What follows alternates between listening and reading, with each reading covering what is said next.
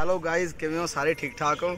ਤੇ ਅੱਜ ਅਸੀਂ ਆਏ ਆ ਸੈਂਸ ਸਿਟੀ ਪ੍ਰੀ ਵੈਡਿੰਗ ਕਰਨ ਵਾਸਤੇ ਤੇ ਰਾਜਾ ਸਟੂਡੀਓ ਦਮੂਲੀਆਂ ਤੋਂ ਭਰਾ ਸਾਡੇ ਸਾਡੇ ਨਾਲ ਆ ਫੋਟੋਗ੍ਰਾਫਰ ਬੈਸਟ ਫੋਟੋਗ੍ਰਾਫੀ ਕਰਦੇ ਆ ਪ੍ਰੋਫੈਸ਼ਨਲ ਫੋਟੋਗ੍ਰਾਫੀ ਕਰਦੇ ਆ। ਜਿਸ ਤਰ੍ਹਾਂ ਦੀ ਤੁਸੀਂ ਚਾਹੁੰਦੇ ਹੋ ਉਸ ਤਰ੍ਹਾਂ ਹੀ ਤੁਹਾਨੂੰ ਜਿਹੜੀ ਉਹ ਚੀਜ਼ ਮਿਲੂਗੀ ਫੋਟੋਗ੍ਰਾਫੀ ਵਿੱਚ। ਤੇ ਤੁਸੀਂ ਭਾਜੀ ਨਾਲ ਸੰਪਰਕ ਕਰੋ ਭਾਜੀ ਆਪਣਾ ਜਿਹੜਾ ਨੰਬਰ ਆ ਉਹ ਮੈਂਸ਼ਨ ਥੱਲੇ ਕਰਨਗੇ। ਤੇ thank you bye bye okay ਭਾਜੀ